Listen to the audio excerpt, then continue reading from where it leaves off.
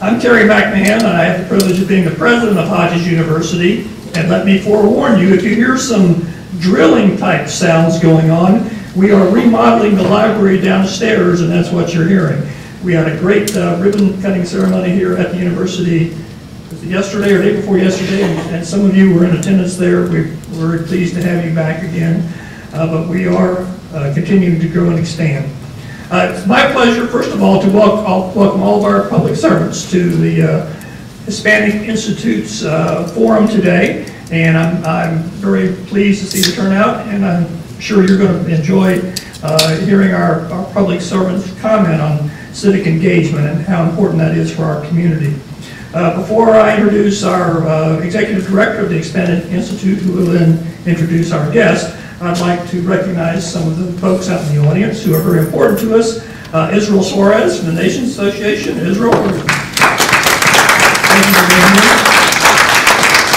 Michelle Doherty, who was the 2012 Lee County Citizen of the Year and 2012 Grand Dame. Michelle. Uh, And we have three uh, Hispanic Institute Advisory Council members with us. Robert Forrest. So, Robert. Uh, Louise Rivera. And Leonardo Garcia. And I'm going to ask Leonardo to come up here because he's got some special guests with him who I'd like for him to introduce. Come on up, Leonardo. As you know, this forum is so important, so we brought a government delegation from the Dominican Republic here today. So we have uh, from uh, the government, Luis Rivera, I mean Luis Rodriguez, Maria Curtis, Luis Damian, Jose Torres, the chief of the FDR Customs, Miguel Mejia, the Captain Sarah Minaya, a partner that we have here in town, Stephen Stafford, and soon coming will be Congressman Victor Suarez, on his way. Thank you. Thank you, Leonardo. Uh, uh, Carmen Ray Gomez is the, is the executive director of the Hispanic Institute, and she told me to be quick, get out of the way, because she wants to get to it. So, Carmen, come on up.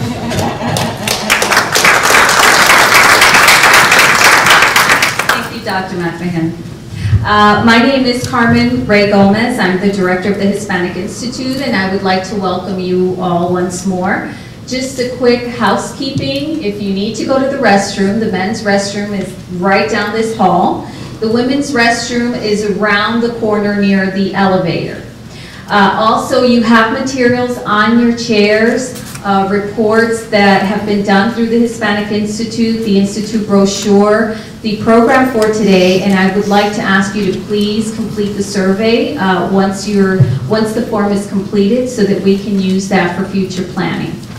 Again, my name is Carmen. The Hispanic Institute is honored to host this first civic engagement forum here at Hodges University today. One of the primary HI goals or objectives is to provide a forum for public policy matters and to promote a better understanding of, of the political process and public policy and how that impacts both the Hispanic and larger community.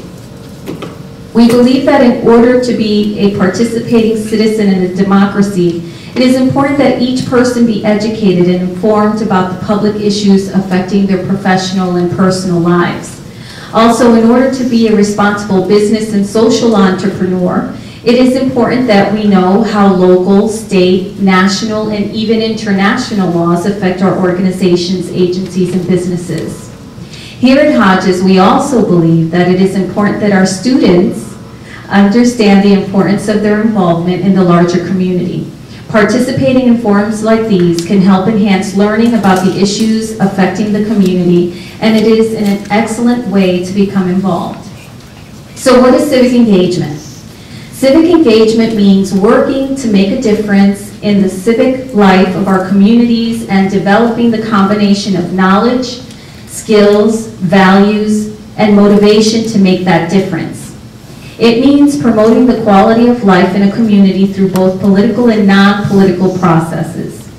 We are pleased to have a panel of some of our elected local officials who will have 10 minutes each to share with you what motivated them to become civically engaged, what role do they play in our community as elected officials, and how do they serve the people they represent, and most importantly, how can you get involved in your community? I would like to first introduce Commissioner Ray Judah, who graduated from California State University with a Master's of Science in Natural Resources and a Bachelor's of Arts in Zoology. He has served the citizens of Lee County since 1988. Next to him, we have Ms. Sharon Harrington, who graduated from Cuyahoga Community College in Cleveland, Ohio, and Edison State College in Fort Myers, majoring in accounting and business administration. She has been with the Lee County Elections Office since April of 1989. Next to her, we have Commissioner John Manning, who graduated from Purdue University with a postgraduate studies degree in healthcare economics.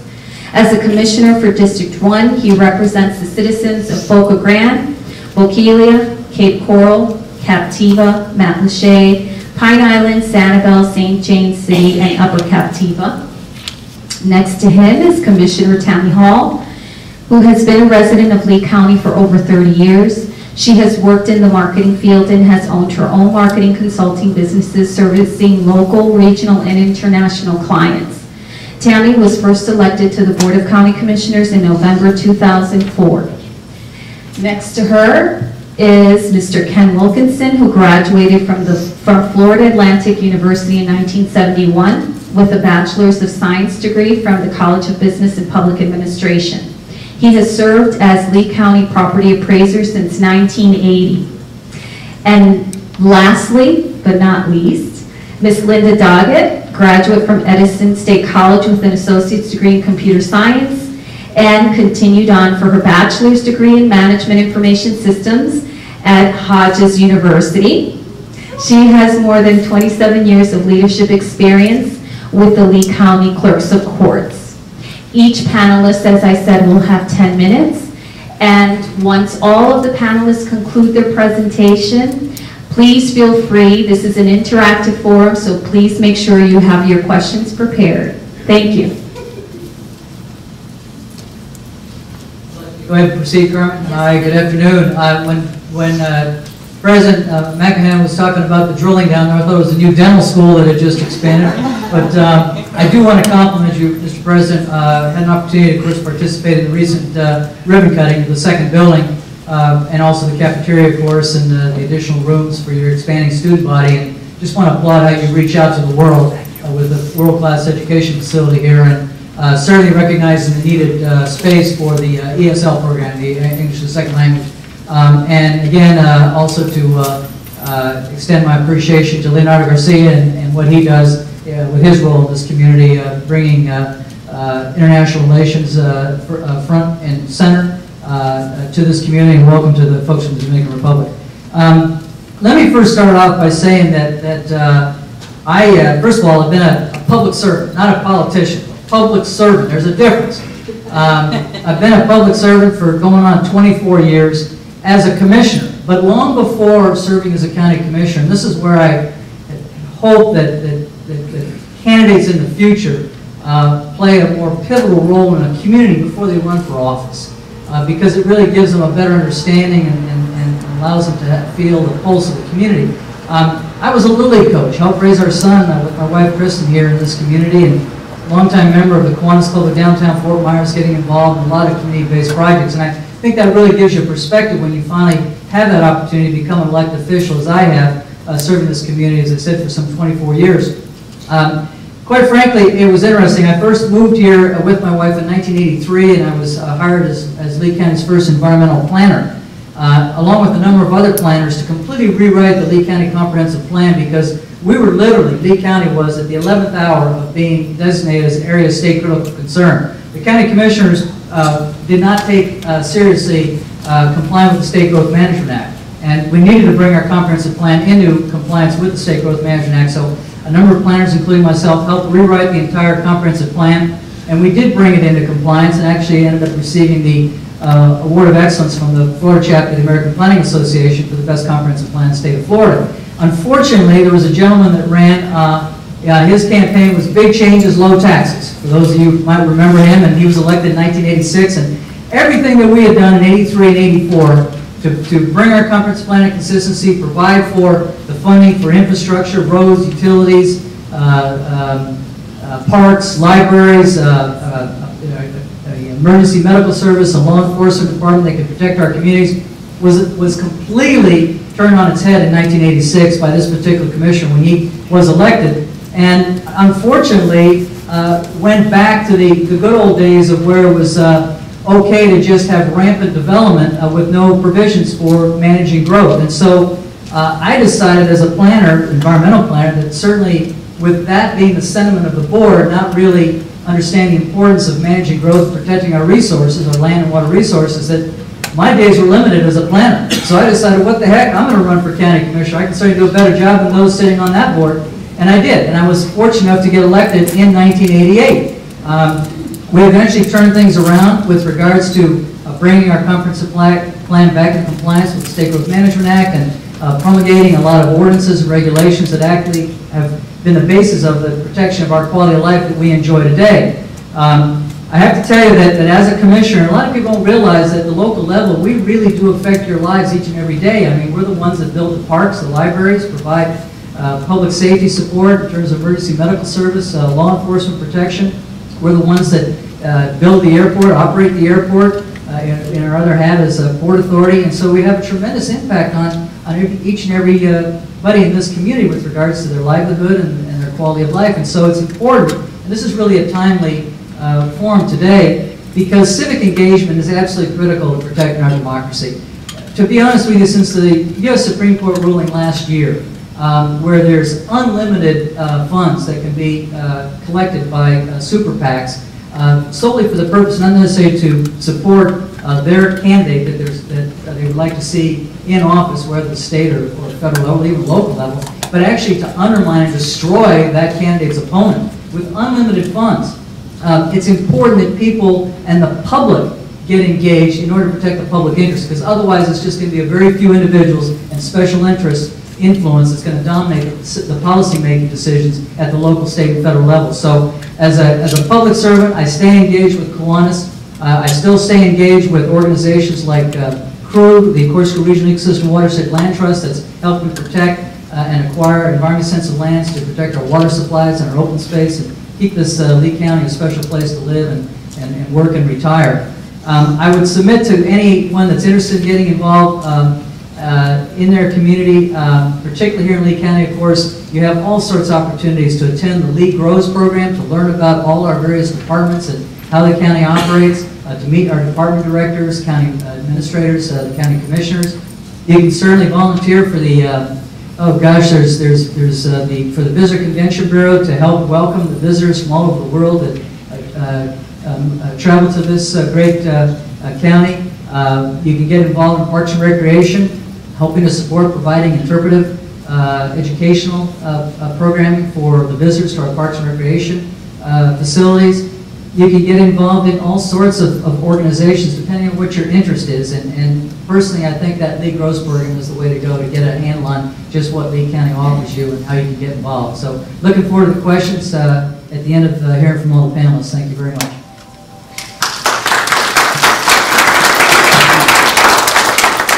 Good afternoon, everyone. Again, my name is Sharon Harrington, and I am Supervisor of Elections for Lee County. Um, Carmen kind of gave you a little bit of my background, but I wanted to just kind of go over it a little bit, because one of her things that she wanted us to talk about was what motivated us to physically run for a particular office and, and want to get involved the way we are, but I have to kind of build up to how I got where I was supposed to be. Um, when I started in 1989, I was the fiscal officer, and what that means was I took care of all of the finances. Um, at one time, our office used to be on the county payroll, on the county's accounts payable program. Everything that we did in the office had to go through the clerk of court's office that pays all the bills.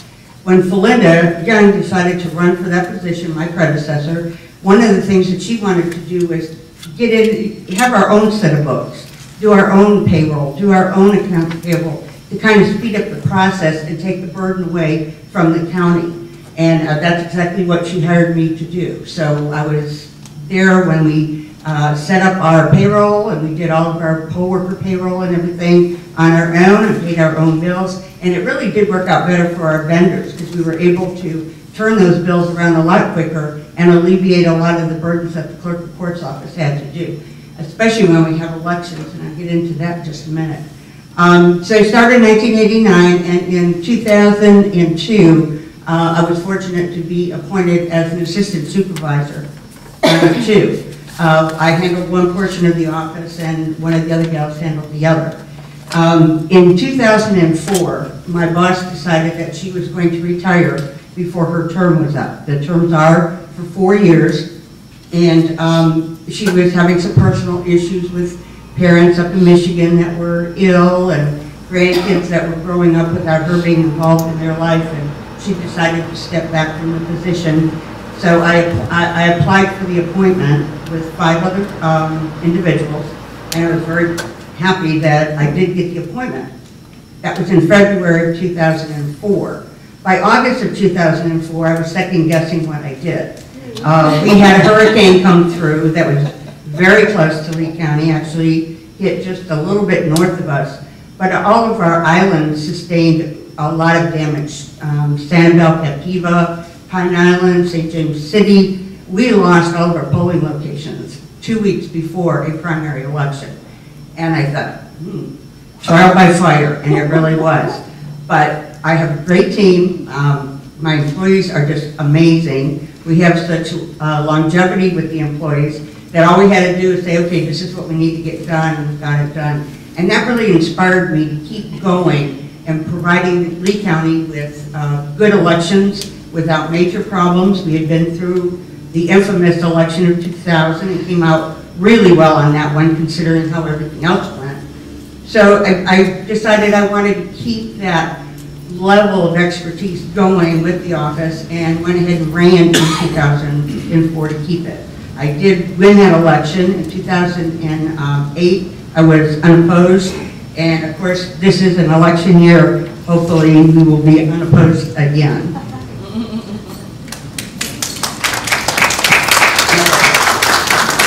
Um, What I have to do is, like anybody else probably knows, is handle all the elections at the state, uh, federal, and local levels. Um, I am not required to hold municipal elections. A lot of people think that I am. Um, Actually, my jurisdiction only goes as far as the county level and special districts.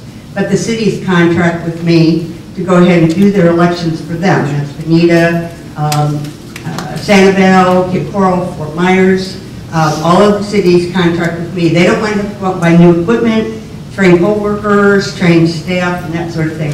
So I'm basically a vendor for them, so I do hold their elections as well. Which means now we have elections every single year. Uh, Prior to 2000, nobody really knew what a supervisor of elections was, let alone what we did. And if they did know, they thought it was every other year or every two years, we would have an election, the rest of the time we were sitting with our feet on our desks. Um, That was never the truth, but now we definitely are not sitting around with our feet on our desks. It has become a very, very interesting profession. Sometimes it is not very friendly, it's um, very contentious at times, but we are so, we feel so strongly about being able to provide open, honest, accurate elections every time we go to the polls.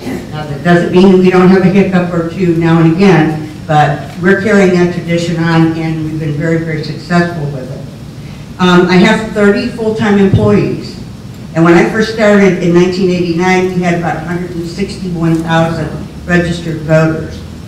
As of noon today, we had 368,000 registered voters. And back in 1989, I, I I would wonder at some of the other counties, the big counties like Miami-Dade and Broward, and go, God, how do they handle over 300,000 registered voters? Well, now I, now I am one, so now I know how that works. But it- there again, it goes back to staff, it goes back to people in the community. We cannot do elections right now. It's not on the internet, you can't go to a kiosk in a mall somewhere and vote. We have to have people to help us. And that's where we're going to be reaching out to our communities again to help us with poll workers. I brought some brochures that talk about being a poll worker. And it's going to be very important for us to reach out, especially to our Hispanic community. They just got done doing the 2010 census. And of course, they're going to be changing all of the new lines, and we'll be getting those out to everybody. Back in 2000, when they did the census, Lee County was so close to meeting the requirements of Section 203 of the Voting Rights Act that was passed in 1965 that requires jurisdictions to provide materials in an alternate language for their voters. We were very, very close. So my predecessor at that time called the Department of Justice and said, well, what should we do? Because they are the ones that oversee that particular piece of legislation. And they said, well, you're so close, you need to just go ahead and start doing it, which we did. We started using uh, Spanish on our ballots, but it wasn't a requirement at that time, so it was limited. After the 2010 census, of course, we all know that we have a lot more um, Spanish-speaking people in our area, and now it is mandated by law to provide everything that we would provide anyone else in, in Spanish. We are reaching out to um, the Spanish community. We need Spanish poll workers, people who can help us when we have somebody come into the polling location to vote that may have questions. We have uh, one person in each of our office is fluent in Spanish. However, my office is in the office on election day. We can't be out there in the poll workers.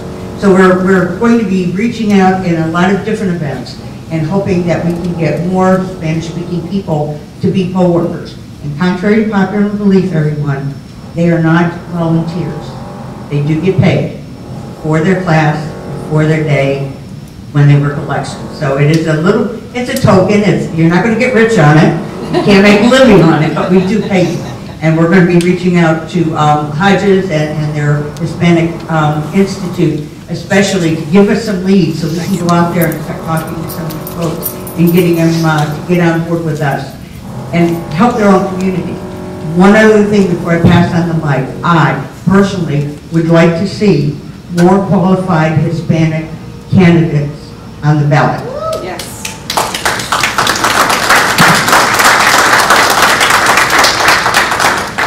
Thank you, Sharon.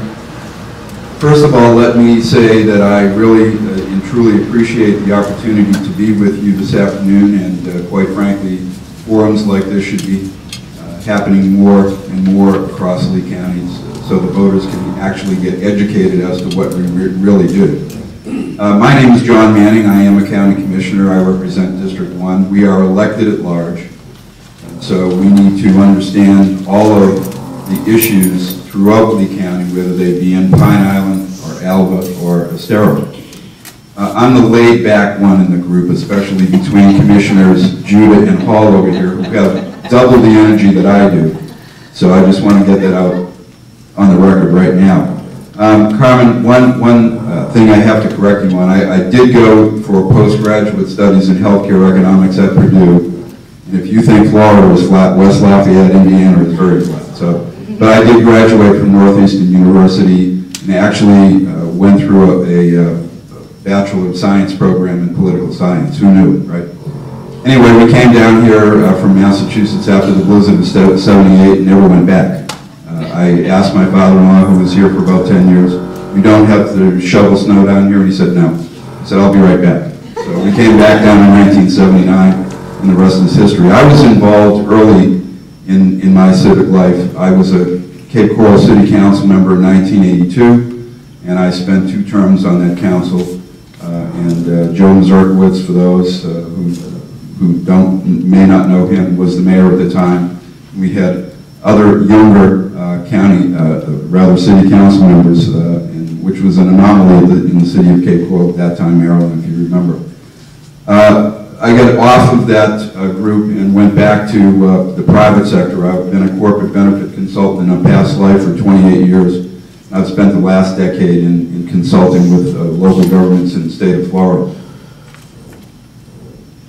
I was appointed to my position in 1988 when some guy by the name of Porter Goss ran for Congress. I guess he was successful. He, he won that race and went on to bigger and better things. And um, I was reappointed in July of 2010. Uh, Commissioner Bob James died in the middle of his uh, term. He was a great, great man. And uh, I was told, and I am a history buff, but I've never looked this up, that I'm the only person in the state of Florida who was ever appointed to a county commission by two different governors. I, I, you can do a fact check on that, but somebody smarter than me told me that, so I, I appreciate knowing that. Anyway, the, the county commission, if I could describe it very easily, is the legislative body of the county. Uh, we create the laws which are called ordinances. Uh, we uh, also uh, are responsible for our budget, uh, which is quite substantial, although the budget that we uh, have under our control is actually only about 38 or 40 percent. Uh, Correct me, colleagues, if, if I'm, I'm wrong there. A lot of people think we have a billion dollar budget that we control, and, and that's not really true. We have other constitutional officers that have their own duly created uh, budget, and the sheriff is a big part of that. Uh, in, at any rate, um, we have many issues that we encounter on a day-to-day basis. Uh, meetings seem to be the bane of the chair's uh, day, uh, and we do rotate the chair every year, which is a good thing because you get a little insane with long days and, and nights doing this job. But it's, it's a great job. It's, it's one that I enjoy very much because I'm passionate about local government. And I want to echo something that Commissioner Judah started to allude to. Every year, it seems that we play defense when it comes to the legislative process. Unfunded mandates are the bane of our existence, and we've got a few coming down uh, this year. Unfortunately, one is, is a Medicaid issue. Just so you know, in 2008, the le- legislature created a new billing system for Medicaid patients, and it never worked. So now what they've done is they've taken our share of revenue sharing to the tune of about a million three next year, and it will be going to their coffers because they can't fix their system. Those are the types of things that we fight just about every year in the legislative session. Uh, Most of the legislature, legislative folks have never, ever been in local government. Uh, They don't quite understand it, and uh, that's my opinion, uh, and I'm sticking to it. And uh, we, we do want to work with them, but it's, it's very frustrating at times. But uh, county commission is, is the driver of the services that we provide in the county, uh, and Ray alluded to it very well. And I too would suggest anyone who wants to get involved in understanding the nuts and bolts of county government to get involved in Lee Grows. I believe, Ray, you and I were on board when that group started, and we, it was an experiment, and uh, it's worked very well, and, and the feedback that I have been getting from people in that program is unbelievable. They didn't know a lot about county government when they started. They know a lot more than they even want to know when they finish that course, and they're very grateful that uh, they went through it. So there are very many opportunities to volunteer and get involved civically. My number is 533-2224, District 1 at Lee County, Lee County, leegov.com. Uh, Those are the ways that you can get uh, in touch with me. I'd be very happy to sit down and, and go over some of these opportunities. But if you don't get involved, don't complain. Thank you very much for allowing me to be here. Good afternoon. Um, Is this on? Me this afternoon. This is a wonderful opportunity for you to learn about the different segments of your county government, because every one of us here is serving you in a county capacity. Lee County is an extremely diverse community. When I say diverse, not just in our population, but in our communities as well. Uh, We're 804 square miles, and we have everything from emerging downtowns to bustling uh, city centers to rural areas where you can still ride your horse down the road, to our bridgeless islands, our beautiful beaches, and everything in between. And we try very hard as we go out and we look at this really unique community we call Lee County to make sure that we're protecting each of those areas and making sure that we work very hard to retain a great quality of life so that no matter who you are, whether you are born in the United States whether you're a visitor from the US or somewhere else, that you choose to want to look at Lee County to make this your home, you'll have options. You'll have a quality of life that we've all grown to love and call this wonderful place home. I'm from northern Wisconsin, a very small community called Eagle River. And I grew up owning my, uh, my parents, my grandparents owned a restaurant and a resort, so I grew up in the hospitality business. I, I would, I will put money against anyone who has cleaned more bathrooms than me. Because uh, we had eight cottages, two bathrooms each, plus a, a, a restaurant, so there's a lot of cleaning. But you know, you learn a lot of responsibility and you learn to give back. Uh, as a small business owner in my community, I started my public service very young.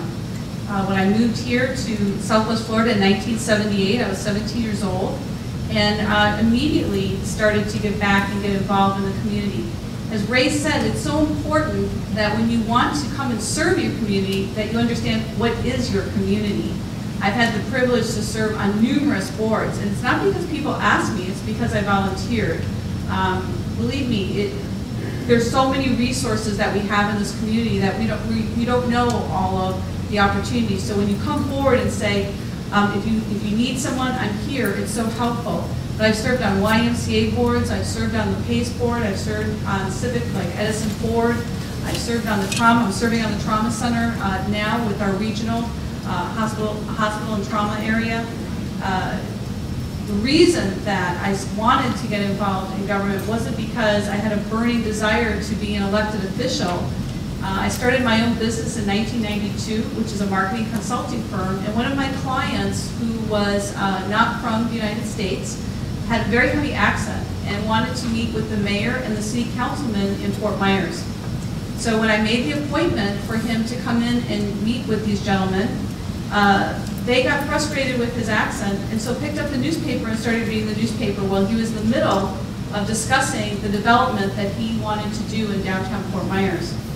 Uh, it was a very big honor for him to come into our community and to have the opportunity to meet with elected officials depending on where you're from, uh, that can be a good thing or a bad thing. In America, we don't think so highly of our elected officials as many other countries do.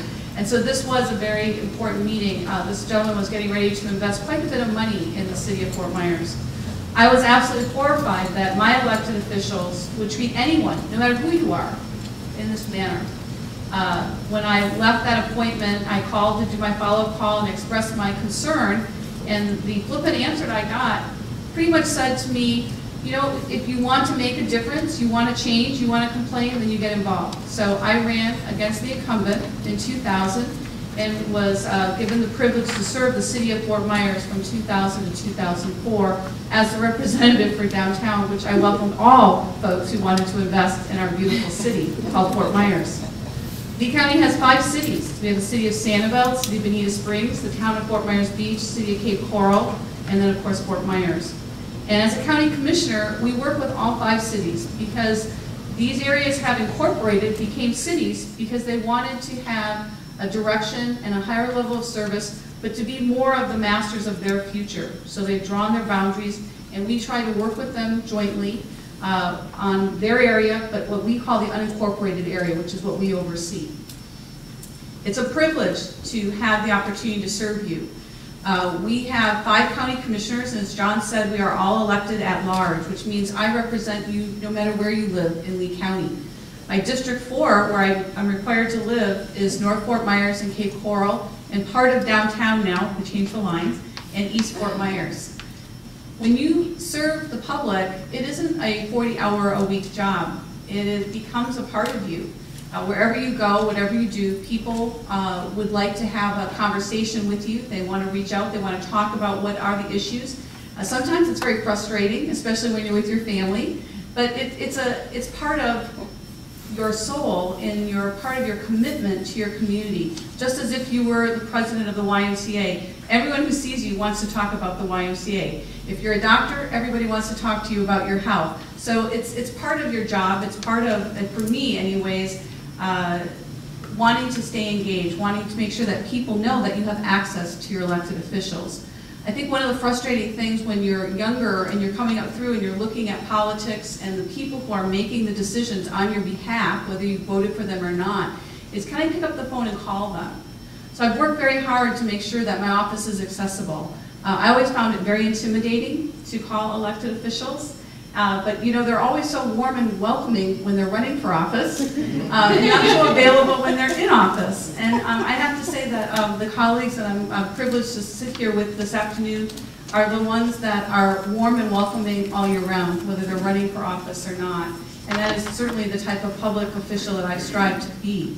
Uh, In 2004, I was given the honor and privilege to run for county commission. I had uh, five guys that I had to, you know, maneuver with. Uh, And fortunately, the voters of Lee County supported me and gave me the honor to serve uh, only as the third woman to ever be elected in Lee County. And now we're 125 years old. And the first woman in 2006 to ever serve as the chairman of the Board of County Commissioners. And I've had the op- opportunity to do that twice. So as you heard Sharon say, diversification and getting out there and running, we certainly welcome the opportunity for candidates. Um, I've had more people come through my office when they're thinking of running for office. It doesn't matter whether I'm going to vote for you or not. I've always tried to keep an open door policy when people want to ask about being a candidate, what does it take? Sure, come on in and talk to me. Uh, It's not, I I don't pick and choose uh, the candidates. I get to pick and choose my individual. But in the meantime, I try to keep my door open, uh, whether I'm supporting your opponent or not. If you want to just come in and ask questions, because I think that's part of the process, is being able to learn and to understand what it takes. 'Cause It's a very big draining job to be a candidate. You have to raise money. In some cases, you go and knock on doors. In other cases, you're on forums. And it really is from morning till night. Public service is certainly a privilege, and it is a way of life. Uh, It is difficult because in this day and age, we live in the fast media. So right now, what I'm doing right this second is probably going viral. Um, There's no chance, there's no chance to catch up, and it becomes exhausting. And I fear, as I look at candidates who are coming forward and people who are looking or thinking to run, their fear of the exposure and the the intrusion into your personal life, into your family's lives.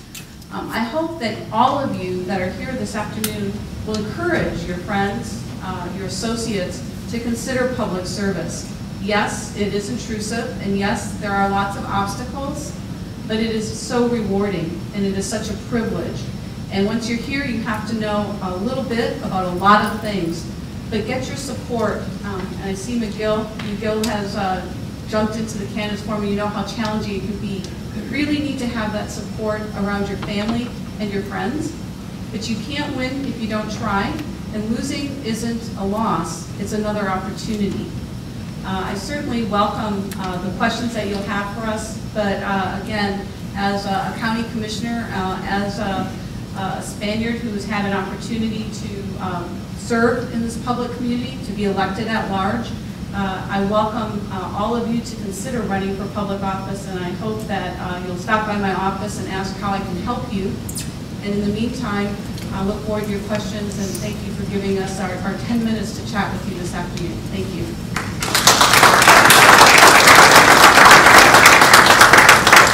I think you can see why I'm sorry that uh, Tammy had to, uh, or got out of the congressional race, because I think she would have added an awful lot to the discussion. I guess I would have to say I'm the old man up here at the panel.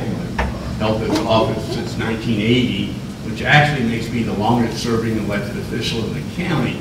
I'm not so sure if it's because I'm doing such a great job or who would want the job. When you, when you consider the property appraiser's office, we're, you know, thought of, the perception is that uh, we're responsible for everybody's taxes.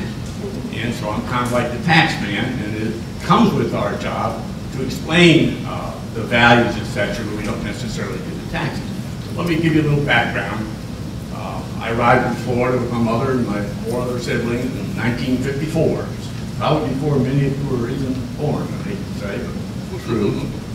And settled over in Lake Worth, Florida, went through public school, went to college, but uh, my family didn't have much money, so I ran out of money in my sophomore year. And it was the time that uh, Uncle Sam was calling a lot of young men, and I ended up in service for four years, one year in Vietnam. But it gave me the ability to come back and go to work, or go to school on the GI Bill. So yes, it took me nine years to get a four-year degree, but uh, four of those years I spent in the military, and it was a great experience for me. It really taught me some leadership, it taught me how to take orders, and as you, anywhere else, if you move up in the ladder, you, you learn to, to give the orders as well. So I would never turn, uh, that experience back. I think it really made a ground for myself, uh, in future, uh, endeavor. But I, yeah, we came here in, um, Lehigh Acres, actually, in the early seventies. We had two sons by then, and uh, got involved in civic stuff, and that's the way all of us have talked about, because that's how you get into your community. And we established the first swim team out in Lehigh, and I was Pop Warner, President Pop Warner, my boys are football players, and they're also baseball players, and I was their coach all through those years. And I've always been involved with sports, because that's what my sons like to do, and the more time you can spend with your boys, and any of those out there who know what I'm talking about, I'm sure you do, it's a phenomenal thing. But the job of property appraiser is different than most uh, in local government. I think primarily because there's uh, more misunderstanding and more misconceptions about what are the duties and responsibilities of the local appraiser's office. Uh, It is a constitutional office, it is separately elected. Most states, they're appointed. I like the fact that in Florida, the 67 appraisers, one for each county, are separately elected because they're beholden to the taxpayers, the property owners, the voters, as opposed to a county manager that you have to keep them happy to keep your job. And uh, if you know my history at all in this county, you probably know the county manager have fired me years ago. I, I am kind of known to go out there on my own and establish and start things that, but I've always believed in things that I've done, so I never have regrets that way. But I am happy that this office is separately elected as opposed to being appointed. It's a difference of allegiance then. Uh, the- The enormity of the duties is why I brought a couple of brochures. I hope you'll take the time, because you never have enough time to go over. Uh, People don't realize Lee County is the uh, fourth largest county out of 67 in separate ownerships of real estate. There's Dade, Broward, Palm Beach, then Lee. And the property appraiser every year, by law, must reevaluate every property as to what the market indicates it's worth on January 1st of every year, using the prior 12 months market data that's out there, uh, that the public actually establishes the value by buying and selling property. We record it, we report it, and then we give that, those numbers over to the taxing authorities. We think of the county as the taxing authority, certainly the school board and the different cities and the township or Fort Myers Beach, but in effect, we have 91 different taxing authorities in Lee County, more than any county in the state of Florida. Now, every one of those authorities depend on the property appraiser's office to tell them what their values are every year so they can start their budget process. They have the responsibility, once we give them the numbers of what the values are in their jurisdiction, then they have to come up with a millage. A mill is one dollar per thousand of taxable value. So if they have an X budget, they do the math, they tell our office what millage to apply to the new values to raise the dollars to fund their budget on an annual basis, and then I turn that information over to the tax collector, and they have the responsibility to send out the bills. I think the Office of Property Appraiser probably, and I'm convinced it is, has a, a lot of accountability, and I'm all for that. There's not another office in government, local, state, or federal, that actually is required annually to mail you a personal letter and tell you what we've done to you. It Comes with the job. And we're also the dummies that put our names on it and tell you to come call us. In the sense that it is accountability. It's a phenomenal process. I don't know any other government that has this. And it's great for our community. Because every year when you get your notice, you have the opportunity, if you're not happy with the value that our office has put on your property, to contact us. We encourage you to do that. Lee County has the lowest percentage of those that go into that process and file a petition if they're not satisfied with our answers. But you get an independent hearing before a private appraiser from private industry that sits in judgment of our work. And we also have the lowest percentage that are reduced. We're very proud of that record. Uh, One of the questions in the handout that we got before we came here was, you know, what encouraged you, you know, Mr. Wilkinson, to want to get involved as county property appraiser? Quite frankly, uh, when I finally, after nine years, got a college degree, and uh, I went to work in banking, and uh, was a bank examiner for the state of Florida, and I came to Lee County as a senior vice president of a bank, and I left banking and went on my own to establish a stock market license, real estate, uh, insurance, and tried to be a jack of all trades. It was pretty tough raising a couple of kids. But I got involved and was also a fee appraiser. Worked for an MAI local here in Fort Myers. What got me involved was the frustration with local government, specifically the property appraiser's office.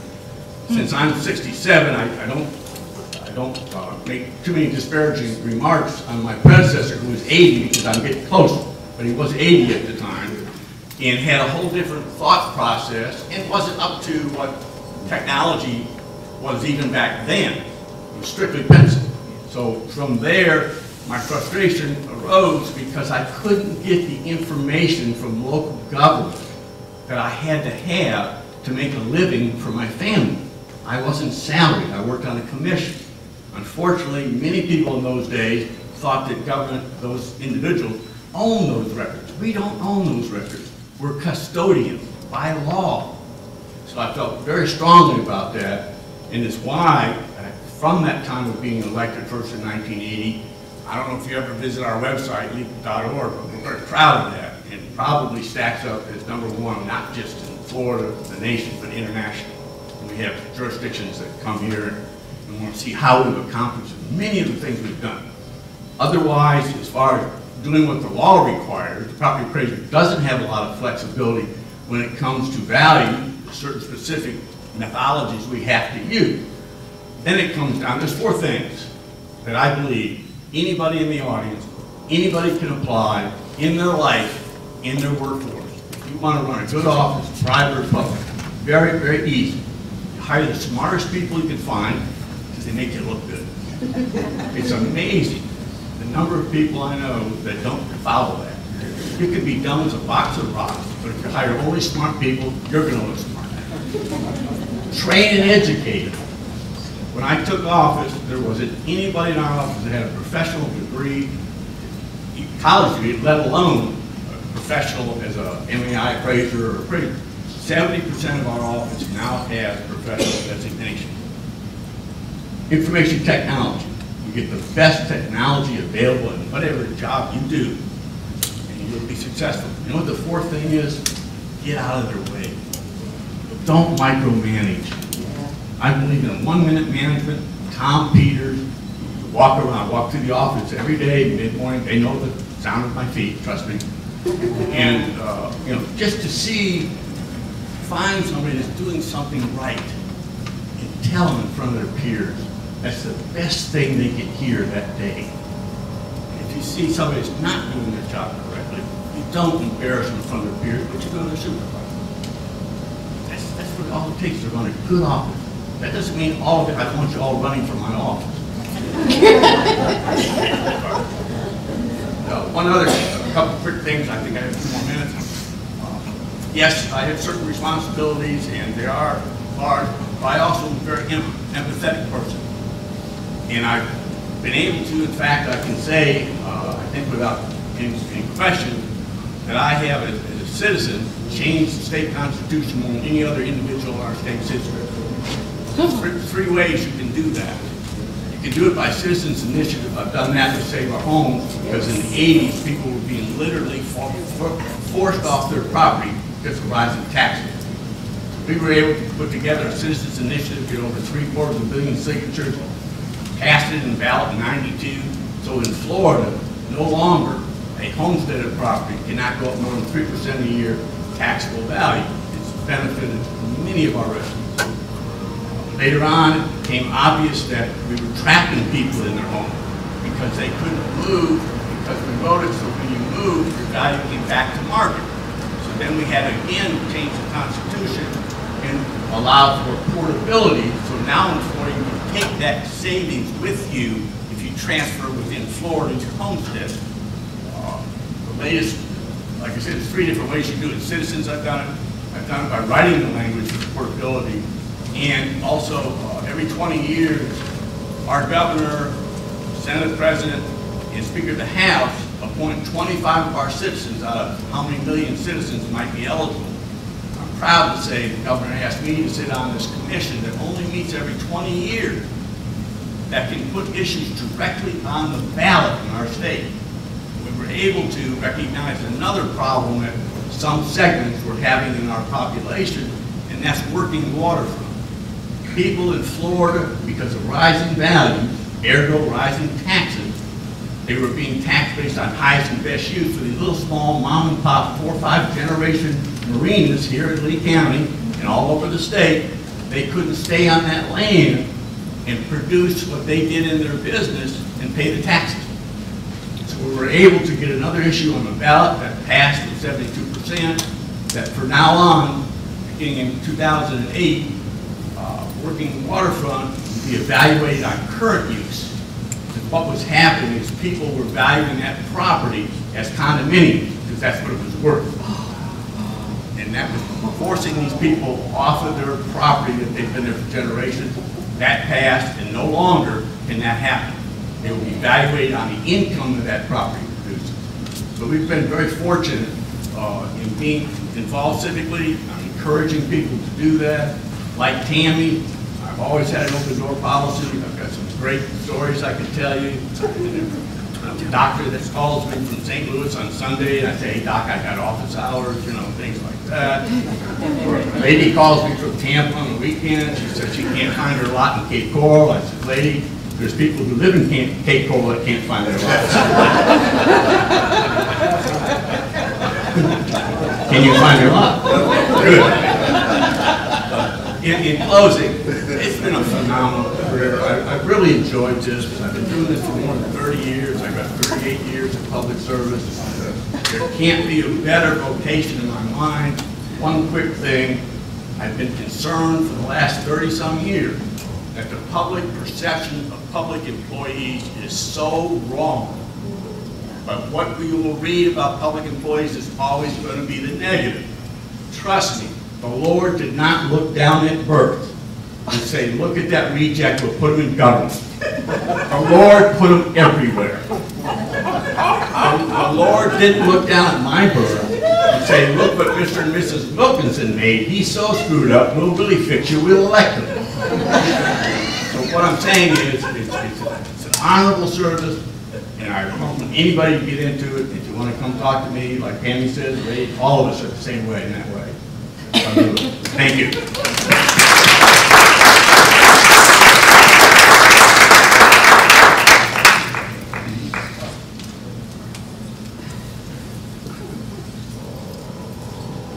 Okay, now that Ken Wilkinson has woken everyone up, and everyone's wide awake now. I'm Linda Doggett, and I am not currently the elected official for the clerk's office. Charlie Green is still our elected official, he couldn't be here today. He is, has announced his retiring, that he is retiring, and he's endorsing me um, to run, and I am running currently for this office. But I'm here to tell you about the clerk's office and why I'm interested in running for the office. And I'm a little bit unlike the other um, folks here at the table. I have worked for the clerk's office for close to 28 years.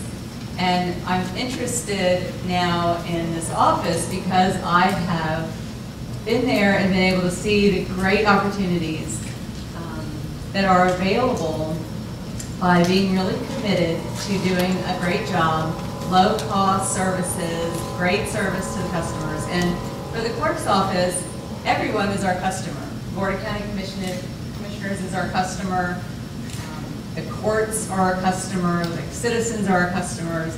Everyone, we're, you know, we're in customer service basically, and our job is, is um, information and customer service. Um, Because we are responsible for all of the financials for the, for the board, for the county. We have over 2,000 folks um, in the county that use our financial systems. We keep the public records for the citizens, so all of the records that are recorded in this county come to our office. We are the clerk to uh, the courts, so all of the court case files and all the financials related to those case files and all the dispositions, all of that information goes through our office and we support the courts um, in that capacity. We are an internal auditor for the county, and we keep uh, the minutes of the board meetings. So as you can see, we provide a lot of service, and we have a lot of information. And because of that, um, very clerical, we keep a lot of information. So for us, and my background, as you heard, is technology, for us, it makes sense to do, to do um, automation projects, to have automation uh, for everything that we do. And that's really where I've seen the opportunities over the years um, in the clerk's office, and I want to see that continue. There is so much, so much savings to the taxpayer um, by automating records, and we're record keepers. We keep tons of records, and we, um, in public records, now we don't keep any paper, and we used to have rooms and rooms full of paper. And I, I think um, our supervisor of elections alluded to the fact that our financial system was very cumbersome in the old days. Um, Our public records was very cumbersome way back in the 80s, early 80s. And that's why our current elected official, Charlie Green, ran for office. He was in the title business, he had to wait close to a month for something to get recorded in public records. It's ridiculous. So he took office and he said, we have to do this better. And then he hired smart people like me, okay, came with a technology background and said, we need to have everything electronic. And that, that takes, not only does that take smart people in, um, in that field, but it takes leadership and cooperation, it takes collaboration with all of the other offices that we work with. And that's one of the reasons um, that I'm in the position I am. I am the Chief Operating Officer. I have worked, one of the first projects that I did was to collaborate with the county on implementing a new financial system so that we are now completely electronic. We, we pay our bills all electronically. We don't have any paper in our system. All of our payment of, um, all the accounts payable is all workflow. We don't have paper. Everything is, um, invoices come in electronically. They get routed to someone electronically. Um, So we don't have any paper, and everything is very efficient now, and all the information that we keep in that financial system is available immediately. Uh, We have systems that allow us to pull information, whatever questions are being asked at the time, so that commissioners can make better decisions. That, that information can be pulled immediately out of our electronic systems for budget reasons, for decisions about what we should change, about new laws, anything that you need information. Um, The clerk's office has that information, and that's, our goal is to make it available, make it quick, make it, you know, so that you can use it. There's no sense in having it if you can't use it. Um, And same thing for the court system. I went, I went from technology into the courts, and same goal. We needed to automate the records that we held for the courts, and we have done that. Everything we hold is electronic. Um, We have saved probably close to a million dollars. Actually, we have a study that, that shows that we've saved a million dollars um, operationally, just in the court system, by going to electronic records. And we still have a lot of things left to do there. We can still automate some of the, the paper processes that we have today, and we are working on those processes, and we work collaboratively with the judges on that. And that is going very well, and we think within the next year or two that we'll have um, paperless courtrooms, and we'll save another five hundred thousand dollars a year. And that saves, I mean, it saves you money, and it- not only it saves you money, but it makes the whole system better. It functions better. The cases, um, you know, when somebody sits and gets arrested and sits in the jail, it costs you money as a taxpayer.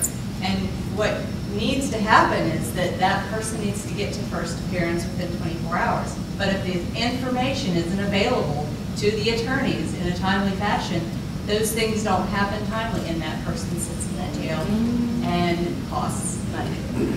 And so our big objective is we have worked with the courts, we have worked with the jail, we've worked with Mike Scott, we've worked with everyone involved, the state attorney, the public defender. We all work collaboratively to make the system work better, faster, more efficiently, so that, so that we can be efficiently, be efficient overall and, and not only save money, but do a better job of, of what we do, of dispensing justice, of, all of the, and the clerk's office has all the fees and fines, the responsibility of collecting fees and fines related to the court system.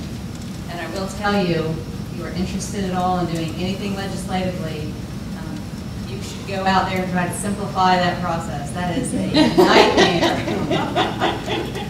It's just, uh, it's very crazy, and it's, you know, I, I think we just oftentimes spin our wheels because we just have a lot of laws that, um, uh, the unintended consequences create a lot of, a lot of unproductive work on the, on the, uh, benefit, you know, from the, from your local offices, and, and that could be, I think, you know, a lot of improvement can happen. Um, We do, we run the jury, we, for the courts, so we, we get selected for jury duty, we pull jurors in. Um, That's another thing that is very important in the court system. If you want to do something, show up for jury duty.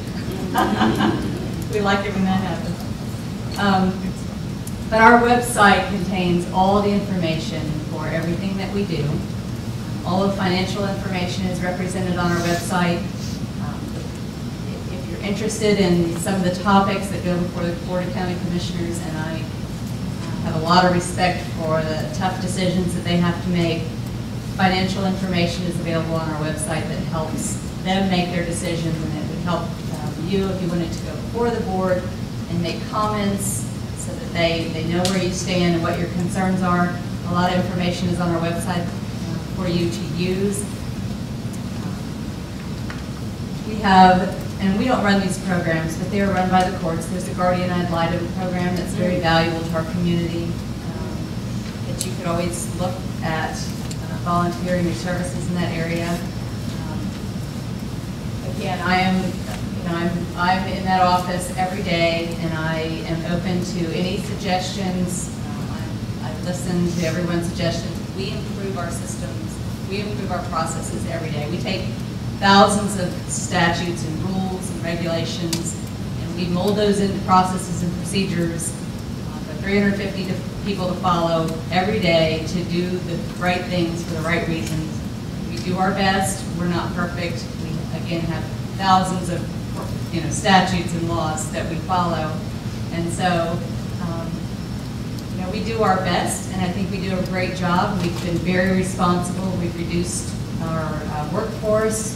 When our, when our workload goes down, we reduce our workforce. When our workload goes up, we try and automate more.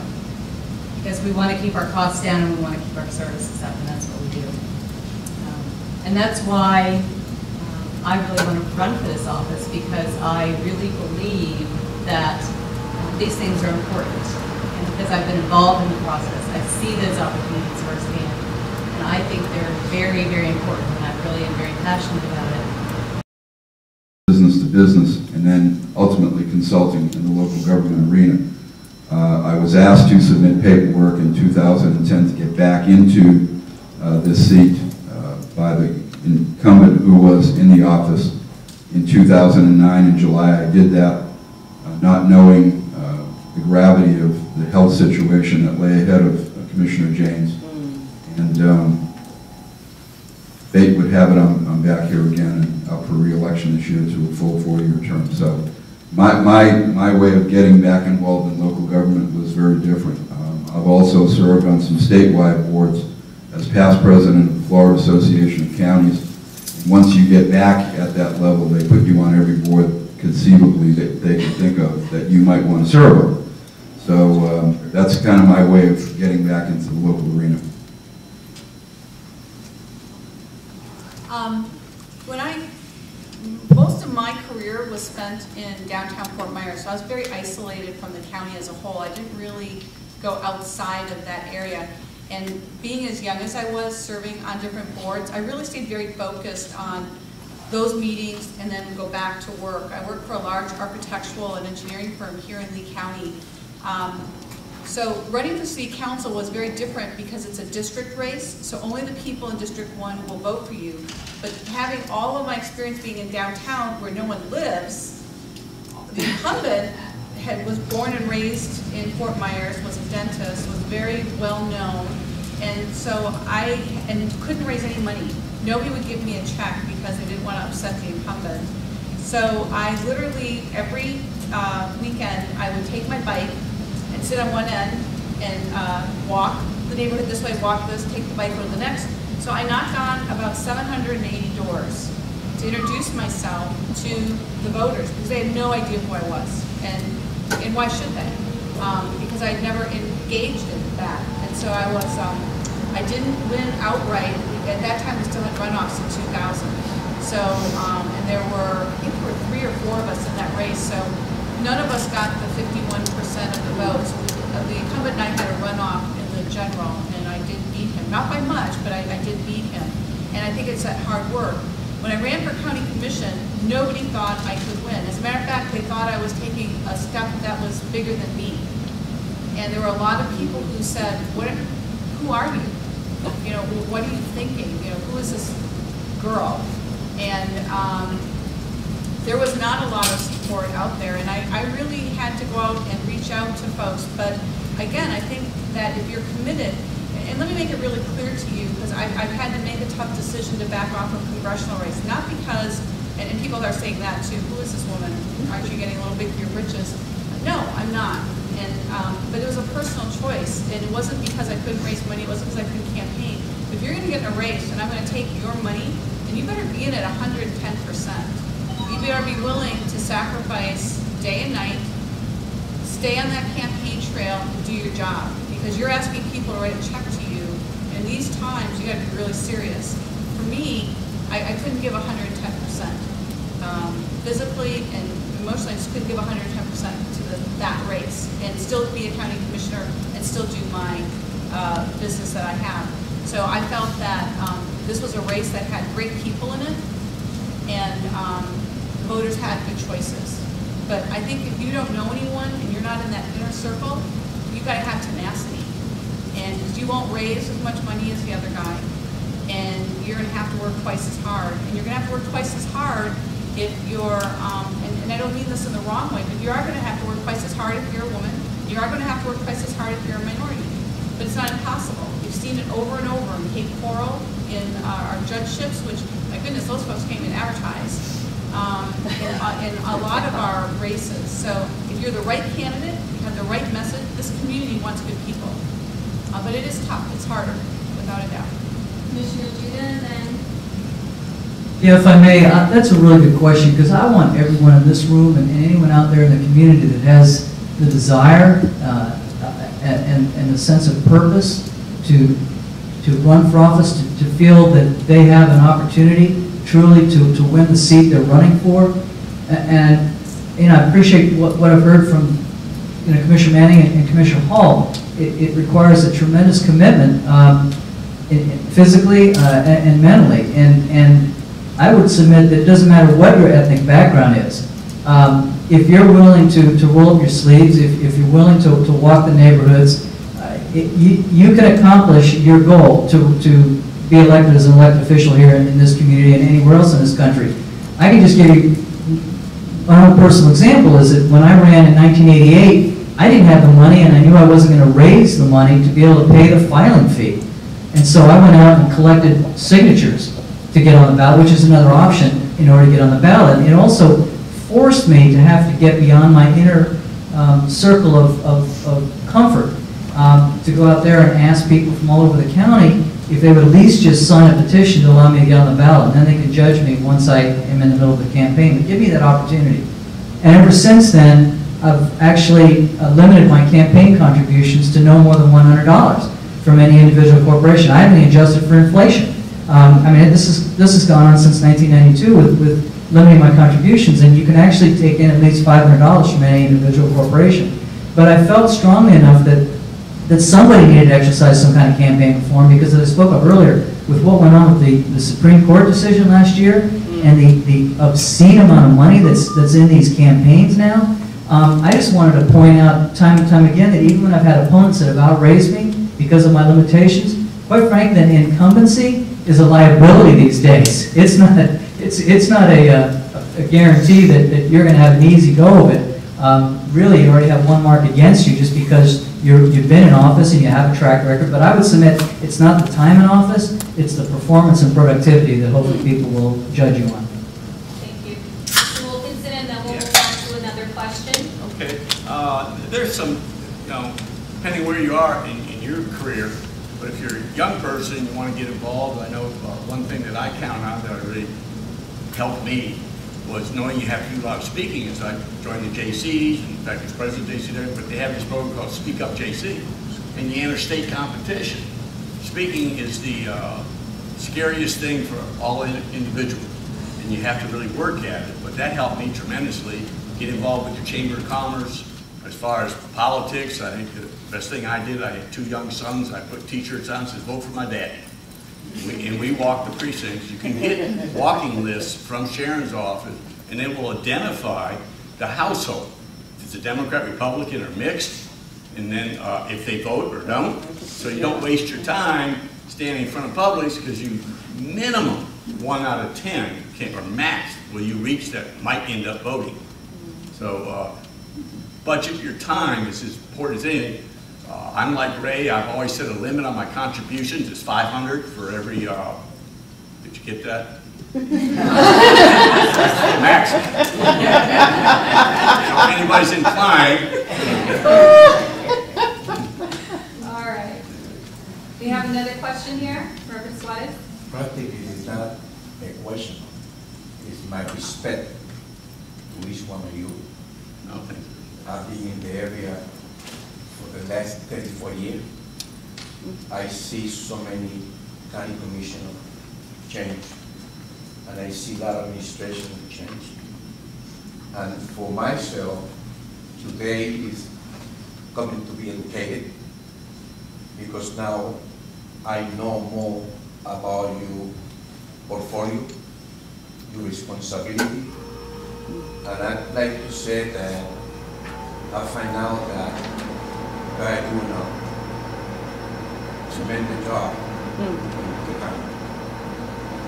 Uh, we news around the country, and you see how government work, and so many people doing wrong thing behind the community responsibility that give you, because I feel you have a responsibility and you carry that respect when the community appointing you to be working to defend different issues. And let me tell you, uh, I respect you. You're doing a a tremendous job. I see it. I work with each one of you. And I see the way uh, you respect and I really accept what they said before. We need people into the Spanish community. Mm. And that's gonna come. This is gonna come. Not that we never see a Spanish official in Cape Coral or in Lee County. The community give the Spanish community the privilege to select one time a county commission in Spanish. Cape Coral give up the privilege to select a city council. I mean, it's not that, uh, it's not that, uh, eh, that the Spanish is not there because nobody wants to select them. It's an open field. And I, and I will see your encouragement to the Spanish community, select somebody, for somebody that carry a respect and carry education to, to be working, to representing the, the, the, the, the Spanish community and the community in whole. But let me tell you, uh, we working, and you're gonna see people, Spanish. We're gonna push people to the, to the arena, and you're gonna see it. You have to understand that after the census, we're not no more minority. We're not no more. No. To us now is to try to educate people to get responsibility. But let me tell you, I respect you, and I love you, and you're doing a uh, tremendous job. You have a clean government, And that's what I take. That's what I take. But take good people who want to be office official to do the job and, and move on. Thank you, and I, sorry.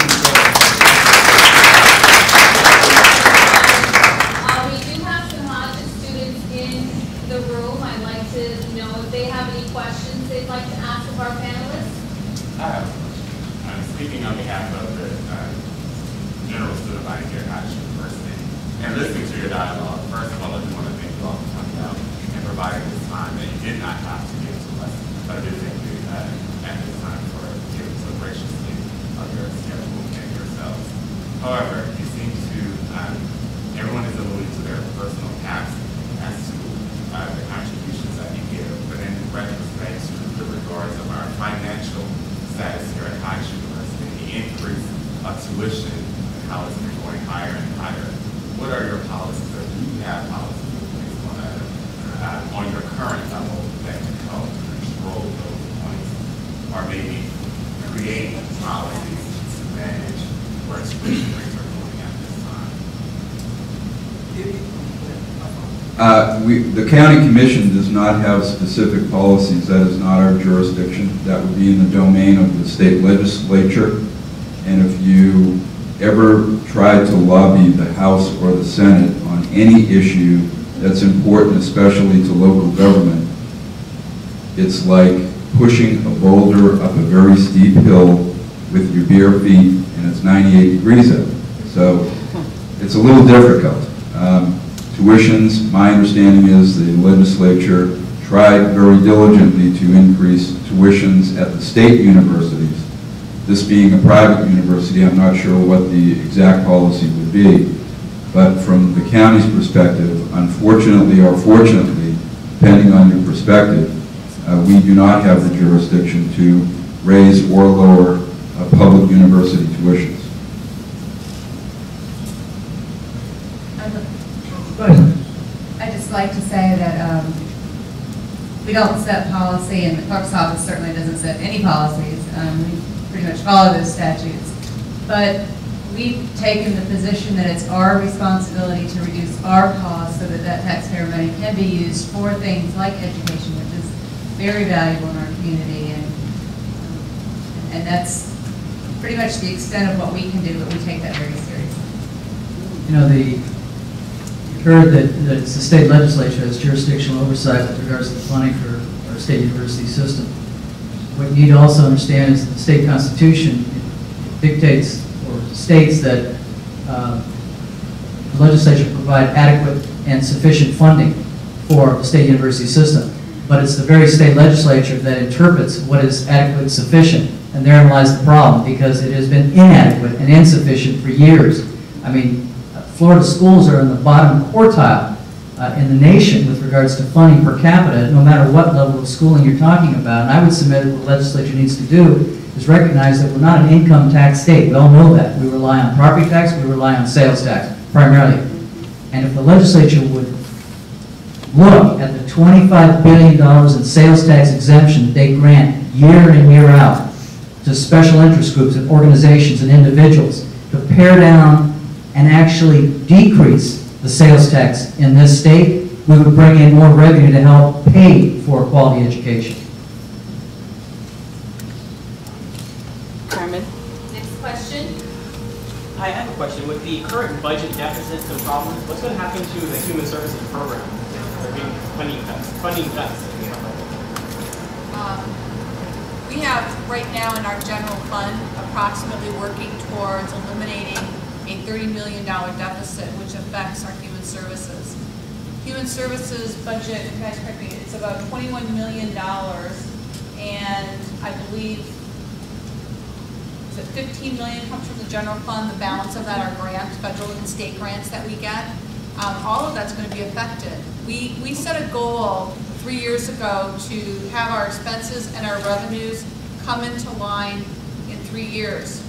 Uh, but what we've done is we've lowered taxes every year. So we've taken, even though we could roll up to take in the same amount, because everyone, all of us have a story of someone, whether our family or friend, who is so challenged right now, the Board of County Commissioners haven't raised fees, nor have they raised taxes. They've lowered every year, which means we're not working towards that deficit. What we've been hitting that deficit with is cuts, cuts, cuts.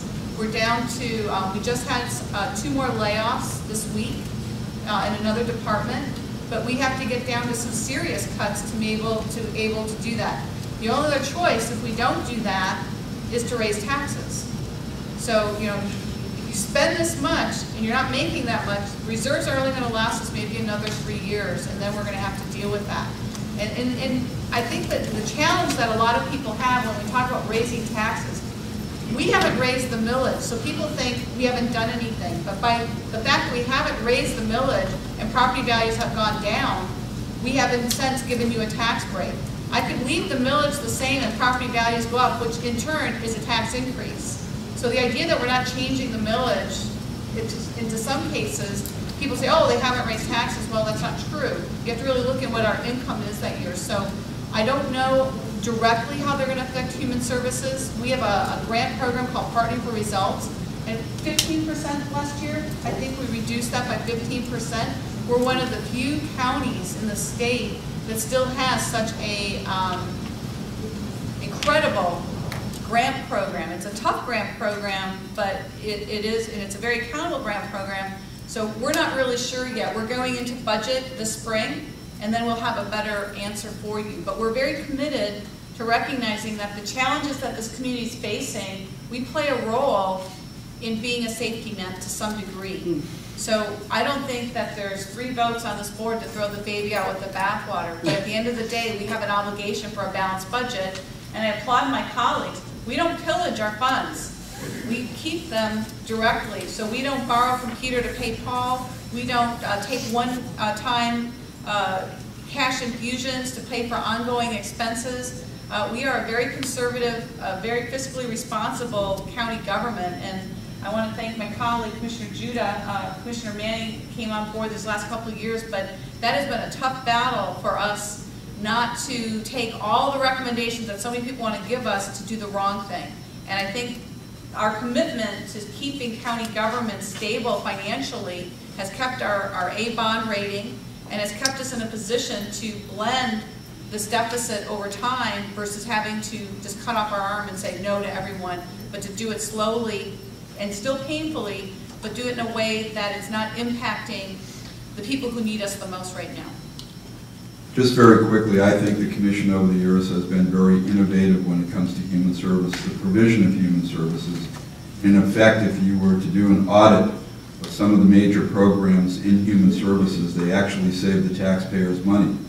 Uh, the triage center, uh, pretrial diversion systems uh, that keep um, non-harmful felons, if you want to call them that, out of the court, uh, the jail system, uh, which is very, very costly and, and very expensive not only to build and to run. So we have to be very careful on what programs that we uh, not only invest in, but, but we have to look at from an investment standpoint of view and what our return on investment is. Uh, my view is to keep those programs going that save the taxpayers money in the long run uh, in a couple that I just alluded to there. And uh, this board has been a staunch supporter of human uh, services in light of a very significant recession. And we've been one of the parts of the country, as you know, that has been hit the hardest in both uh, the construction industry and the real estate market. If you can find somebody uh, working in construction uh, in Lee County in 2012, let me know. I'd like to shake his or her hand. Yeah. There's one question here, one back here in a minute. Go ahead, Robert. Um, For the benefit of everybody here, I don't know that everybody here knows what Lee Grows is. And if somebody can, one of you or two of you can shed some light on that, some light on that, excuse me.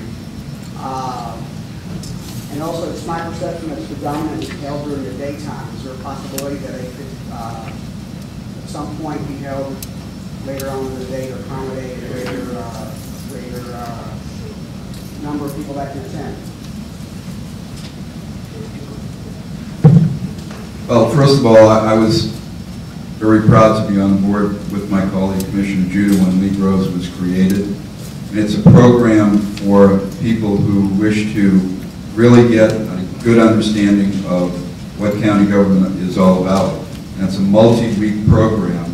Uh, There is actually a graduation ceremony. Um, And at the end of it, they, they ask the chairman or a representative for the board to come over and to speak to them and answer questions.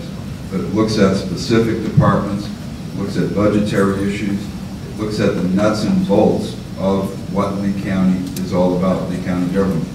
And it gets very detailed, it gets very, very systemic in terms of what, not only what we do, but what our employees do all throughout the system. Uh, You go to, constitutionals are involved in this as well, uh, and uh, it's soup to nuts, A to Z. Uh, It's a very, very encompassed program, I would really, really suggest it. Uh, We've been getting rave reviews over the years about that. The second part of the question was again? Oh, oh, we, we do have public hearings uh, in the evening uh, twice a month. Oh, Lee Grows, I'm sorry. Because a lot of people work during the day. Yes, yes, and you're right, and we've discussed that in the past, and I discussed that the other day after one of the meetings, because most of the, the people who go through there are retirees, and I think it would be very, very good of us to at least have one or two classes per year that were strictly for those people who work, so I agree with you on that hundred percent. Our next question? Uh, First of all, uh, it's an honor to be here in front of people like you. I have a question. Uh, I'm studying here computer information technology. Uh, I study in my country. Uh, I'm an electronic engineer. And my whole life uh, was and is related with uh, technology.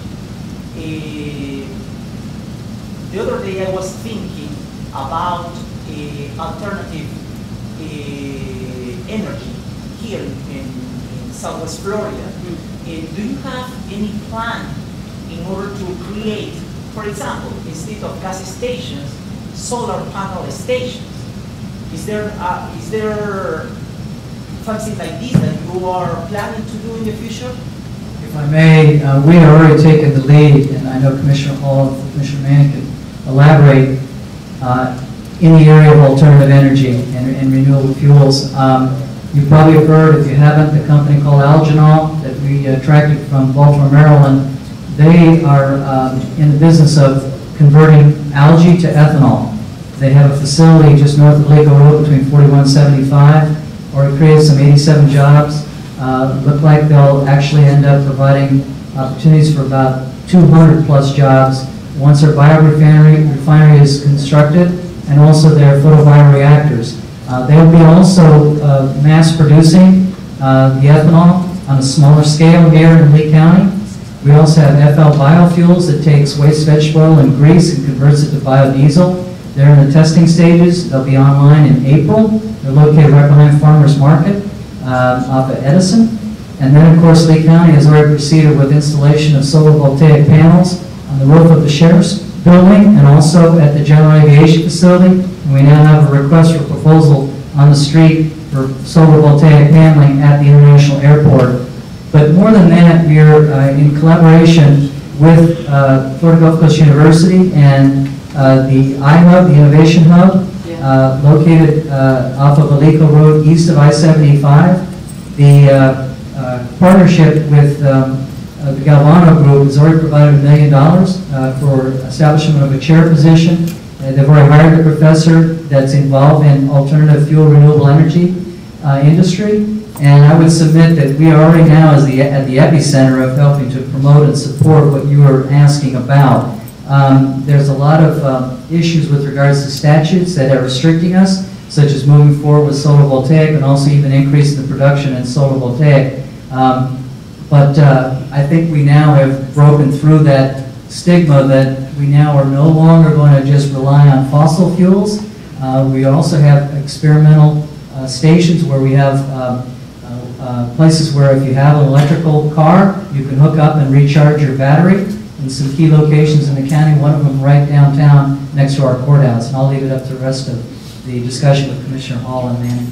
Well, I'll just share with you, uh, Green Gallon Solutions is a firm that is already producing ethanol from grease. Uh, They're in North Fort Myers. They're um, right now producing a million gallons, uh, and they're expanding now, and they- that, that, that ethanol sold. And they did so well before they were open, they're now expanding to do 3 million gallons. Uh, You have the solar field at FGCU, which is powering just right there on the campus. You have the proposed Florida Power and Light solar field that's coming up in Babcock, but their actual transmission will come from North Fort Myers up to that, so they'll get on the grid. So there's a lot going on in renewable energies, and um, Carmen, is it Dr. um, Simmons? Yes, yes. Simmons at, at Florida Gulf Coast University would welcome a call from you.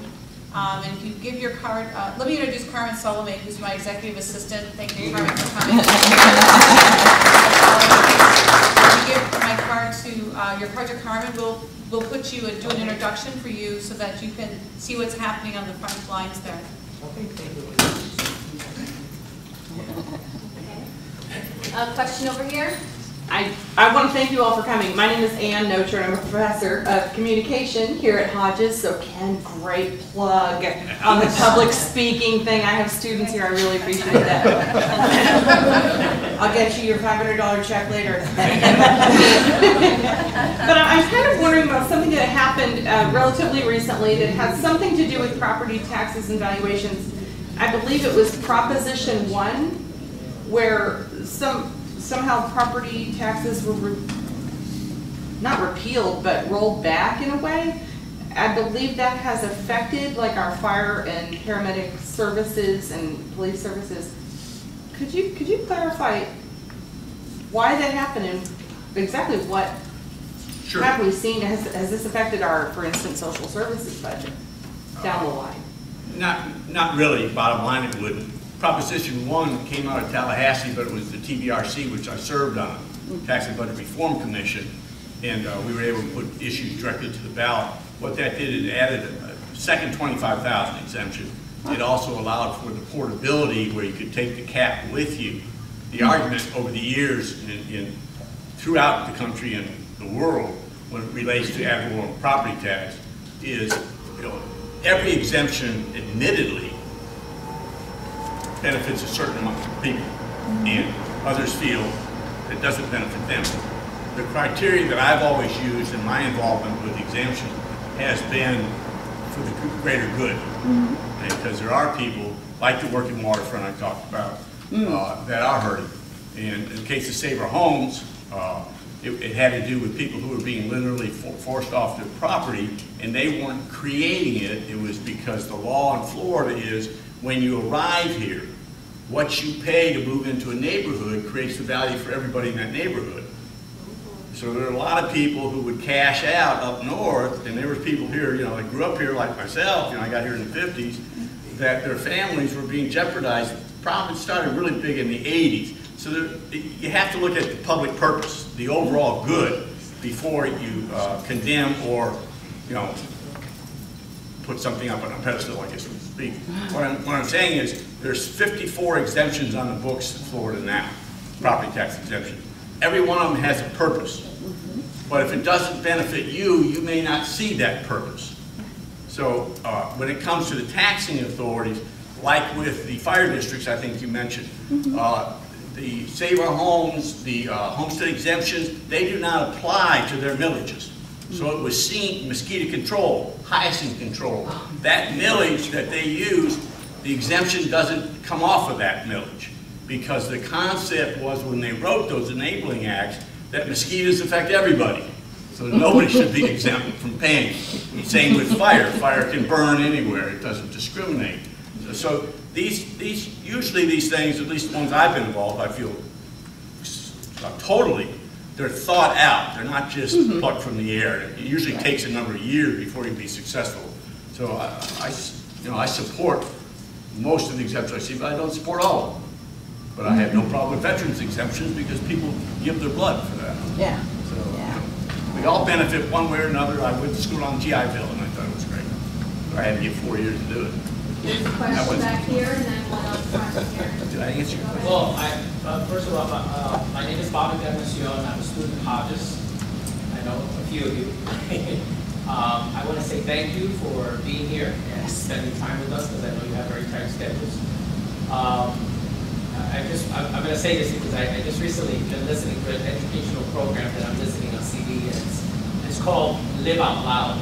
So I'm gonna live out loud for a moment, I'm gonna say that I'm one of the, one of the individuals within the Hispanic community that would like to run at some point uh, in the future for one of the, either commissioner or in the state. Um, Obviously, I'd like to educate myself better and look at the issues and really be balanced about, uh, for me, it, it, it it has to do with what benefits the community.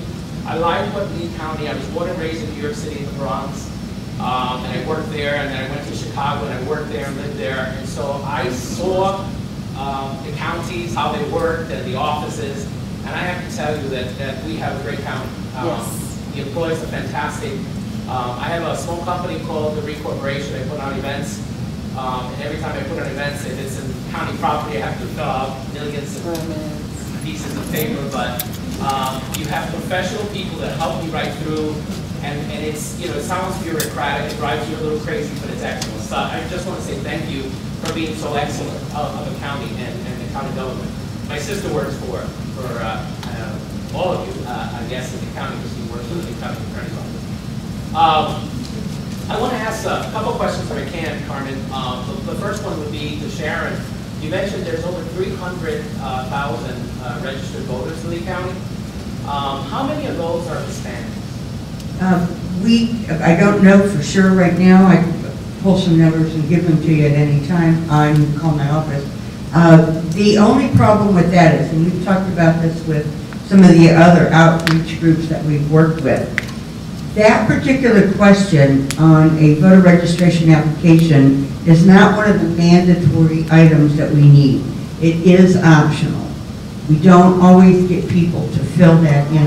And that's the only reason why we even ask for that kind of information, uh, the sex of the voter, you know, what nationality they are. We just want that for data purposes. But a lot of people don't fill it out. We can, I could certainly let you know, um, by just pulling it up with those that did answer that question, how many we have. And of the 300,000, how many were active voters? How many voted in the last election? Well, 360, we have about 367 active voters. We have, or uh, 367,000, thank you, active registered voters. We have about 20,000 inactive voters. So usually when we talk about people voting or the numbers that we have, we don't necessarily include inactive, even though all you have to do is go vote one time and that activates your record. So our inactive voters right now have probably been about the lowest that they could be. We were very, very pleased that in, in 2008, Lee County had the highest percentage of turnout to the presidential election at 86%. It was hmm. quite a bit. I mean, it was amazing. Unfortunately, if you look at cities, uh, like city of Fort Myers, city of Cape Coral, just had their elections in 2011. The turnout was pathetic. And that's exactly how they quoted me in the paper when they asked me. It's pathetic. As far as I am concerned, there's absolutely no reason that a qualified person can get registered to vote and has the opportunity to vote. There's just no reason for them not to anymore. With early voting, you could get a ballot mail to your home and you do not need any reason for that. All you gotta do is call us and we'll send it to you. Or go into the polls on election day. Absolutely no excuse for that. That's why we're trying to get out in the communities and let people know, these are the people that are gonna get into your pocket first. If you live, and, and, and the way I describe it is kind of like, if you throw a pebble into the water, where that pebble goes in, the, the first circle is the smallest. That's kind of like your city council. If you have a hole, a pothole on your street, I don't think if you call the president, he's gonna really care.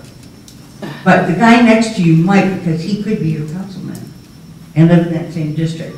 So the farther you get away from your person that represents you, the less impact you're going to have on that person. And city elections are just so, so important. And we really, really try to push that a lot. So it, it varies. We, we want to see more people get out when it's not a presidential election, but we certainly were pleased with 08's results. Can I ask one more? I'm really interested. It's actually row five, but I'll, I'll say it. Um, I'm really interested in finding out, uh, I know that there is a lot of controversy nationwide regarding redistricting and, and the voting and the, and the hours and locations. Is any of that changing or affecting Lee County voters in the low-income areas? I mean, are there any changes that you're going to implement? We are looking right now at uh, redistricting, we're all holding our collective breath statewide for them to finally get this whole thing out of the court systems and get, get those lines approved. Um, And I understand that the um, Senate, or the House lines were approved, but the Senate is still being questioned.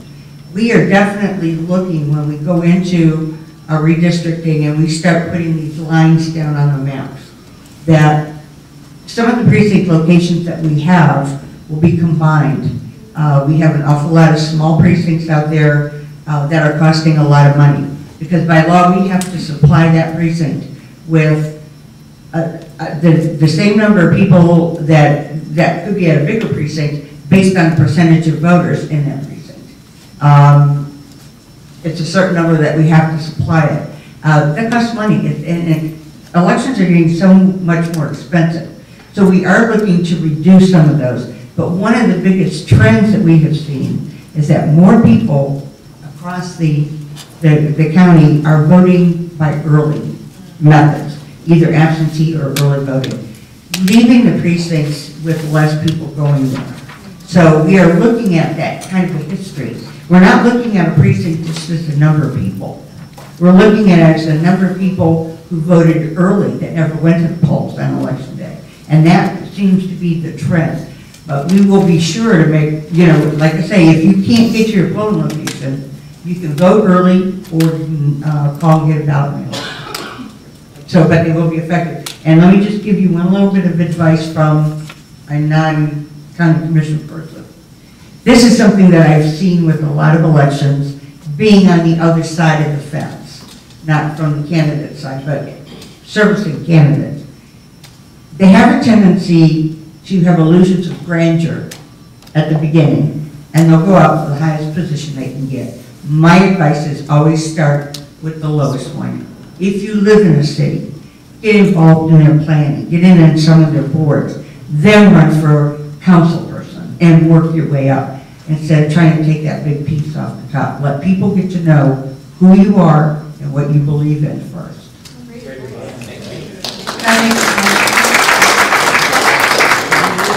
We lose good people that way, because they get disgruntled when they don't win that big election. But if you take it, small steps, much more worthwhile, we're not gonna lose a good? And I just wanted to make a comment, I've heard this question several times about how can, how can we get into, how could you win an election in an office where someone has been there for so many years? And in the constitutional offices, as you've gathered from this forum, those offices are very technical, they're very specifically um, driven by laws and statutes, and they're very technical in nature, and they're usually not decision-making offices, but they're offices that perform um, responsibilities um, based on the statutes and the laws, and their, their real decisions are to do those jobs very efficiently and effectively and to the benefit of all their customers. And so that takes a lot of knowledge about what that office does. Those, all of those rules and statutes and laws are in the Florida statutes, they're in the offices. The clerk's office has thousands of policies and procedures. They're open to the public. You know, any, you have to do your research and really have to learn. For constitutional offices, I would recommend you really learn what those offices do. You have a good understanding and always important is to have a good concept of technology, how technology can benefit the business because again, to, to perform all of the duties and responsibilities of all those technical um, uh, duties that you have to perform requires technology and using it wisely and using it very efficiently um, is a tool that has to be in place to make those offices run well. And so those are the two things. You need leadership, you need knowledge, and you need um, technology. One last question. Hi, uh, my name is Marcella, I'm a student here at Hodges University, and my question is, under the single census, we see that there's an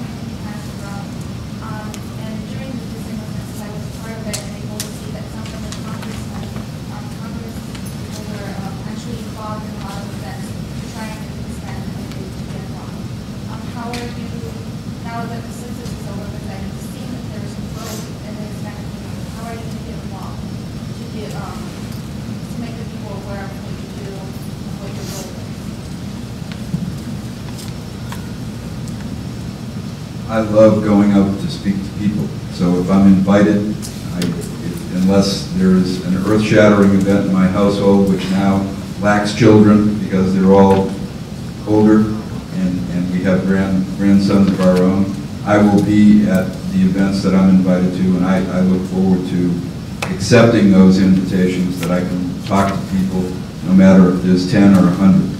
Um, I love to do that, and I, I would very much, if you know some, you know, organization uh, that would, would have us come out and speak with you, uh, we, I, I know we would be glad to be there. I, I certainly would, and I, I think I can speak for my colleagues. In the 30-some years I've held this position, I've always believed that the public wants to hear from the public official. Not all do that. Up here, we all do, because I know all these people. But there are some office holders I've known that will send a deputy to speak in their spot. And, and I've never believed in that. I'm always the one, that's a big part of my job, is go in the community when asked. Sometimes I'll even seek you out and speak about the duties and responsibilities of the office. Because you need to hear it from the elected official, not the deputy. The um, Hispanic community are, are tremendous entrepreneurs, uh, and many involved in small businesses. And so, recognizing that it's the small businesses that are the bread and butter of our nation, it's, it's, it's with an understanding that it's going to be the small businesses that are going to allow for the recovery economically in this country. And so we need to do whatever we can to help promote small businesses, and that involves many in the Hispanic community. We do that through collaboration with the Southwest Florida Enterprise Center or a Small Business Development Center at Florida Gulf Coast University or uh, uh, the Hispanic program here at, at, at Hodges. Um, I, I am very proud of the fact that we've been working with not the Hispanic Chamber of Southwest Florida, but also HABA, the Hispanic American Business Alliance, in terms of, of promoting and supporting international relations like we do with the Dominican Republic and Puerto Rico, and recognizing that once we finally land that direct flight with Puerto Rico, you know, South and Central America are going to be right at our front door, uh, benefiting both those countries in South and Central America and here in Southwest Florida, Lee County. So uh, we're going to continue to work uh, in partnership together. Um, I think Hodges is really, just like the brochure says, taking a leadership role in engaging the community in a dialogue as it relates to Hispanic uh, issues, but more, as Commissioner Judah said, uh, how you're uh, in this community, how you're um, interacting, and how we're getting information to you, not just us getting information from you. Uh, 21% is Southwest Florida's Hispanic population, and a large part of that's here in Lee County. So you're right, you're a quarter of the population of Southwest Florida. Uh, There's different organizations that I reach out to, uh, being proactive in calling and getting information. Uh, Carmen was kind enough to take me through and tour me, and, and, you know, we made that call. Um, Carmen Salome, both of us are very, very involved in different organizations, uh, personally and professionally. Um, And so part of it is, as Commissioner Manning said, uh, making yourself open to the invitations or, or individual meetings that people want to share with you, but also being proactive and trying to keep up to date with what is happening in our community, and then reaching out and saying, uh, you haven't called me yet, but let me call you, could you come and can you talk to me on the phone and tell me what you're doing, or can I come and meet with you? So, you know, my office, we, we try to do both of those things, and as many things as I'd like to think I attend, 804 square miles, Lee County, I'm very blessed uh, to have uh, Carmen Solome, uh, who is uh, by heritage Puerto Rican, uh, but that is also, uh, her children are grown, and so uh, she does work a lot of after hours, so we kind of, you know, take team the county and try to get where we can, where people want us, and we welcome the opportunity to talk to you individually, personally, uh, face-to-face on the phone, but be proactive as well, because it's hard for us to get everywhere. I saw her at a meeting at 7 o'clock this morning, so I can attest to that. Dunkin' Donuts. My, my office just recently agreed to um, bring in a uh, voting machine and some ballots and hold a mock election for some students that uh, Leonardo is bringing in under HUBA. Um, We're going to be down there with our group and, and let them go through a voting exercise using the equipment that we use right here in Lee County. We're willing to lug that stuff anywhere we have to lug it. Um, in our tables and our tents, wherever we can put them up and, and help you out. I want to go briefly over an issue, and I don't know how many of you were familiar with it, but just read, not too, too long ago, about a couple weeks ago, Um, I received an email from our Division of Elections in Tallahassee from our local NBC TV affiliate here in Lee County. They sent them a list of voters that apparently they had gotten a summons to um, appear for jury duty. And on that, and they got them from Linda's office. Um, On that application, there's a place for them to check that they are not citizens, that they have to decline jury duty because of non-citizenship. And somehow the radio, the TV station got the list of people who had declined jury duty because they were not citizens and ran it against our voter registration database here in Lee County and in Collier. We had about 87 names that came out where these people were registered to vote and they were declining jury duty for, because of citizenship. We, we knew this had been an issue ever since they um, opened up voter registration back in 1994 with the National Voter Registration Act, which is better known as motor voter, where you can go into the Department of Motor Vehicles, get your driver's license, and they register you at the same, same time. We could put an application anywhere at that point that we wanted to. We could put them in 7-Eleven if we wanted to. People just went, got the applications, filled them out. There's, the second question on there is, are you a U.S. citizen? Out of 87 people, we had a fairly decent number, I'd say a little bit better than uh, a third of those that sent documentation back saying, yes, I am a U.S. citizen. Now, did they lie to us or did they lie to the courts? That's, that's not up to me to decide. But I look back and I saw that none of those people voted before they became citizens. But we had a whole pile of them that said, no, I'm not a citizen, and they voted. It could become a major issue in a very close election. I mean, 2000 election was only 537 votes statewide.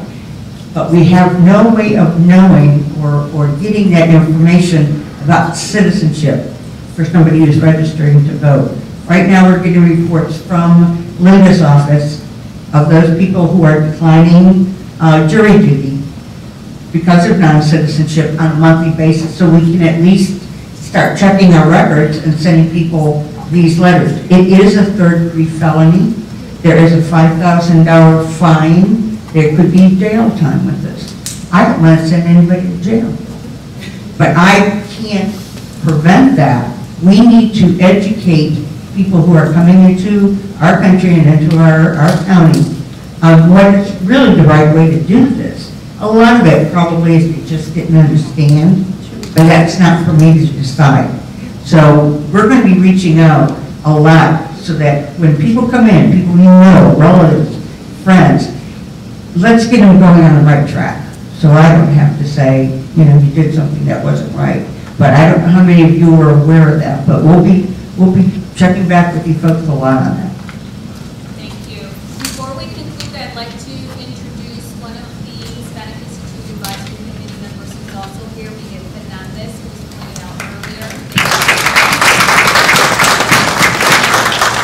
Thank you, Carmen. I just wanted to thank the panel for being here on behalf of the Institute. We try to do our best to uh, engage uh, government and uh, pass out information to our community so that both can get connected and feel better about what's going on in our community. So just want to thank you all for, you know, taking your time and being here today. It's an important part for us. Uh, One of the things that I learned on this side, because I've also been a candidate twice uh, on two occasions, I want you to know that when you're speaking to elected officials, perhaps the first thing you should tell them, I am a registered voter. Believe it or not, believe it or not, I've gone to many political forums where the first word out of some of the candidates' mouths are, are you a registered voter? Because if you're not, the reality is, most of them don't want to hear it. So tell them, when you engage them, I'm a registered voter. I think you're going to get their attention. I know they're here because they care about you. Thank you. Before concluding with a little nugget of information, a little pearl of wisdom, um, I, I want to encourage you all to please make sure you complete your surveys and rest assured that through the Hispanic Institute, we want to provide these opportunities for educational exchange. This won't be the last of this type of forum, so I want to appreciate um, all of you who made time to come here today. We will, in the future, hold other forums, and I, I wanted to mention, with regard to voting, Univision and the Institute also collaborated to do a campaign last election for the community, by the community, called Voto Cuenta. Uh, This was an initiative that was put together, again, to motivate and encourage folks in the community to cast their vote, because one of the challenges is that, especially within this population, we tend to register, but we, the vote doesn't materialize. So I was happy to hear today that there are different ways in which folks can cast their ballots, because we know in some communities there transportation, with childcare, and many other things. So, um, it's, this is the reason why we hold these forums, so folks can really understand, number one, what the process is, Number two, how to get engaged. Number three, who they need to talk to. So I hope you remember these faces and I hope you took down their information because when they say, when they say contact me, they mean it. So take advantage. Thank you all and please